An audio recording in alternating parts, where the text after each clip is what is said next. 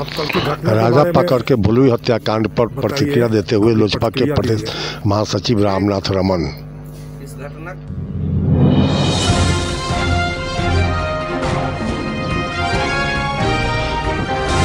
श्री रमन ने कहा कि कानून अपना काम करेगा आप धैर्य से रखें। इस घटना की जितनी भी निंदा की जाए वह कम है।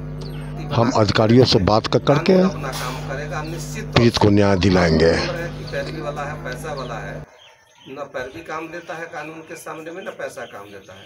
कानून अपना काम करेगा और निश्चित तौर से आपको न्याय मिलेगा। आपको न्याय मिलेगा आप लोग धैर्य से रखिए शांति बनाए के रखिए निश्चित तौर से उसकी गिरफ्तारी होगा कोई कार्रवाई होगी। आप लोग धैर्य से रहिए। इसके लिए आप बड़े पदाधिकारियों से बात किए हैं करेंगे? मैं यहाँ के बाद मैं खुद आया हूँ वस्तु स्थिति को देखने का। जो पुलिस कप्तान है वैशाली ज़िले से उनसे बात करूँगा थाना प्रभारी से बात करूँगा। आप लोग मीडिया के लोग हैं आप लोगों से भी आग्रह है कि जो सच्चाई है उसका उजागर कीजिए ताकि दोषी पर कार्रवाई होने में आपके मीडिया के का भी एक भूमिका हो। विश्वास हो मीडिया पर कि हाँ भाई अन्याय के खिलाफ गरोल टाइम्स के लोग आए हुए थे और न्याय मिला इस गरीब को न्याय दिलाने में आपका योगदान रहे। ये आपसे भी व्यक्तिगत आग्रह होगा।